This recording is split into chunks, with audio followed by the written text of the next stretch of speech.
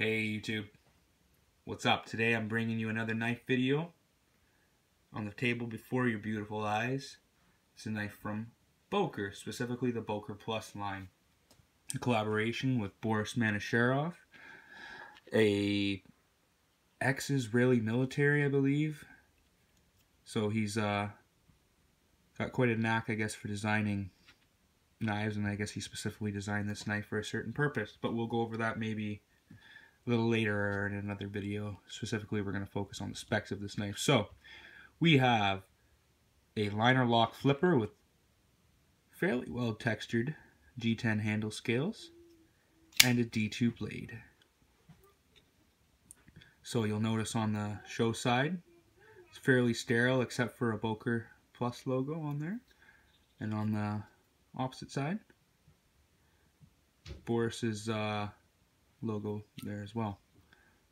So you'll notice on the inside there that the uh, liner lock is fairly recessed. So takes a little getting used to if you're used to a uh, normal frame lock. It's a little well, it's got jimping on the inside there, so that helps for extra track or extra grip there. Sorry, it's nice actually. Once I've gotten used to it, it's pretty good.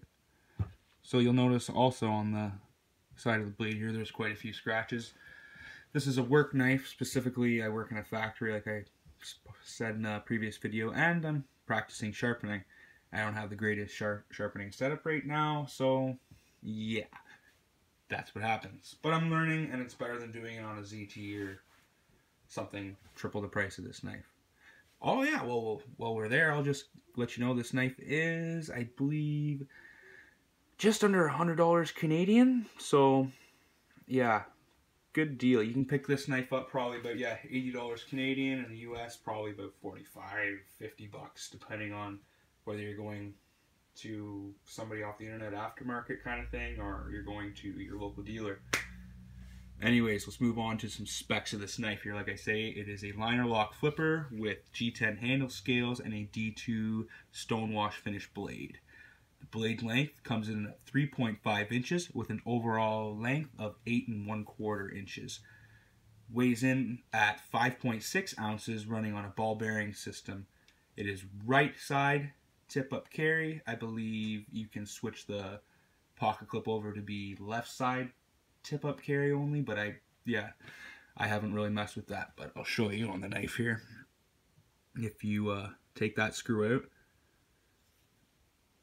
you can slide the pocket clip right down into there. So there you go. If you're a lefty, you got an ambidextrous knife.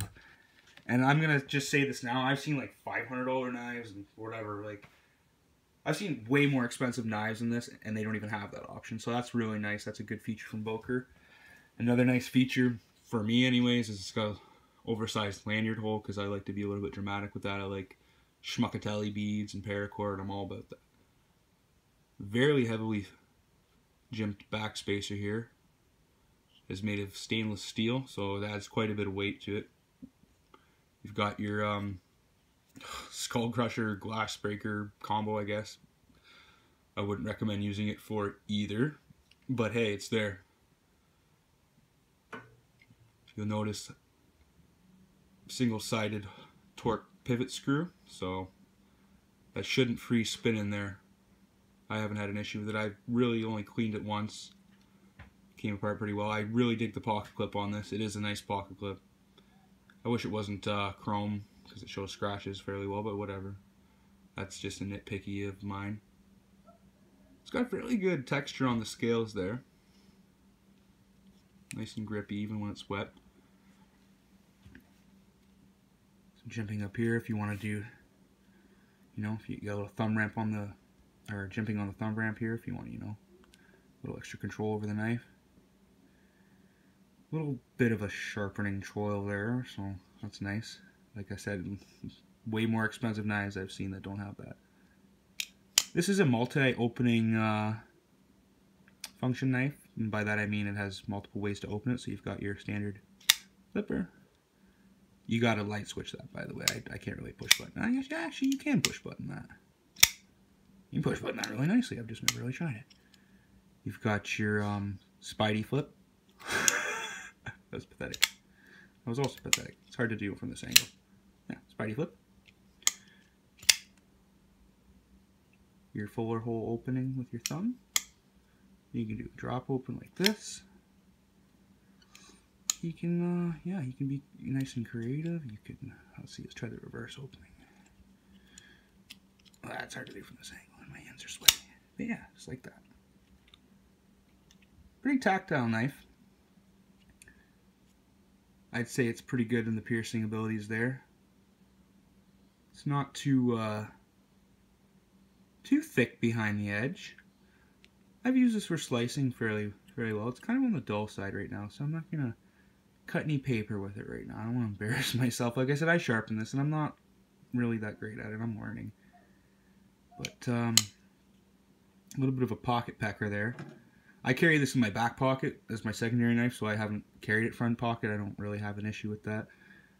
So uh, yeah, that might jab you a little bit, or whatever you got in your your pocket there. That's that's that's it's gonna scratch it. It's gonna, you know, well, maybe not. I don't know. But anyways, I'm gonna get a little bit nitpicky with this knife.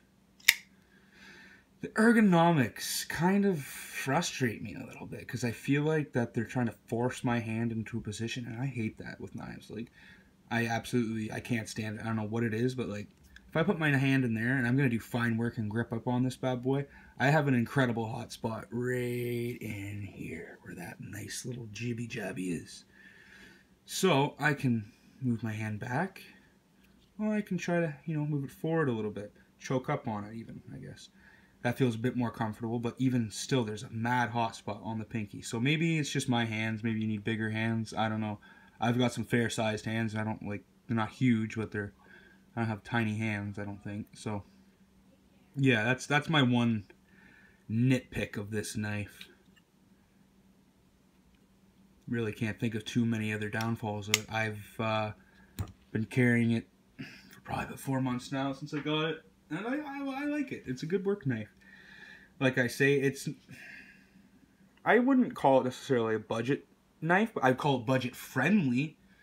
Like you're not going to spend an arm and a leg on this knife, but you're getting what you pay for. You're getting D tool tool steel, which pretty good edge retention, fairly susceptible to rust. But I don't live in a uh, tropical climate with a lot of uh, salt water around and stuff like that, so I don't have to particularly worry about that as much. So I, I've I haven't had any issues with rust on this knife since I've got it, and I've oiled it I think once in Rem oil, and yeah, it's it's fine. A little dirty on the inside, but yeah, as you can see, the inside of the uh, stainless steel scales are milled out there, some circles. Yeah, I'm getting a little bit better at uh, doing the quality of my videos here, figuring out little things. But yeah, so rundown of this knife. Um, I recommend it as a work knife, as uh, an addition to your EDC or a camp knife. So uh, if you like the video, like, thumbs up, and subscribe. Take care.